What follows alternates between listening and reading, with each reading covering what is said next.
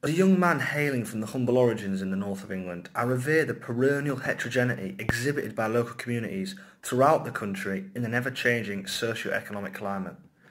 I believe it is of the utmost salience that Channel 4 continues to achieve its intended purpose of representing the myriad of regions and communities throughout the UK in its programmes, whatever their outlook on life may be.